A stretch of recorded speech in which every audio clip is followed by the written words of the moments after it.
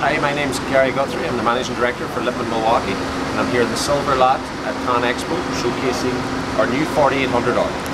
This plant is a closed circuit impactor used in recycled concrete, recycled asphalt and, and limestone applications and we have some unique features that we're showcasing here this week. So if you get time, call around, see us at the booth, stop by, say hello. Uh, our team's here ready to help you and you can also access information on our website at www.lippmannmilwaukee.com. Thanks very much and have a great time.